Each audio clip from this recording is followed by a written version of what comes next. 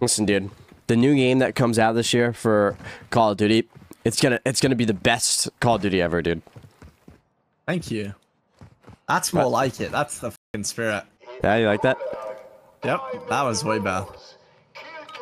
Nah, I like how they said they weren't gonna bring out a Call of Duty, and then they made a billion dollars in a week, and they're like, okay, never mind. It's pretty funny. Yo. Yo, about that. Man, I don't even blame them.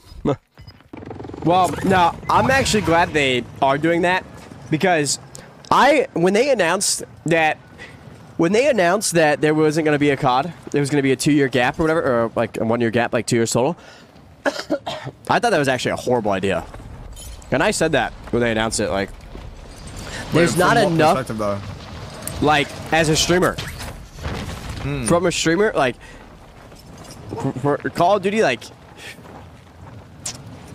as, as a streamer you can't i don't know there needs to be a new game every year and i don't think like i don't think them having that extra time to develop the game would just magically make it last an entire year extra on top i just i don't think Yeah. i think it would make the game better but i don't think it would just magically make it last a whole extra year Uh, yeah. So. Free to play for you there? But I'm also not a casual player, so it's a lot different.